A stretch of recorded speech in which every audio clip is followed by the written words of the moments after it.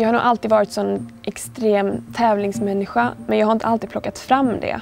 Utan jag plockar fram det när det verkligen, när jag känner att nu är det liksom, nu lägger jag ner den här energin.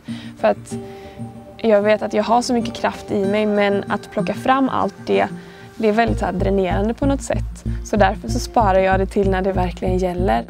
Ja, men långsiktigt jobba för någonting i ett år och träna och hålla på och mecka med allt. Liksom. Och kost och vila, återhämtning, mat och slipa på teknikdetaljer. Att ehm, ja, men mentalt så här, eh, ha fokus på vissa saker och sen verkligen känna att det sitter där när det kommer till, eh, till stora mästerskap. Det, det är häftigt.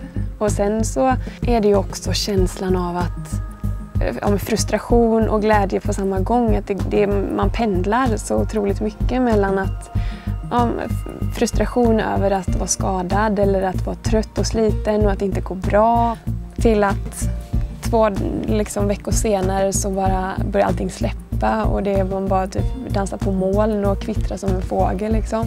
Sen så är ju målet självklart att bli bättre. Och, um, ta ytterligare ett steg och hoppa ännu högre och, och framförallt göra det på de absolut största, största mästerskapen där det liksom är som viktigast och där flest kollar och ja, få ut det maximala av sin förmåga när, när man har liksom en stor publik bakom sig och många som hejar fram en och det verkligen betyder någonting.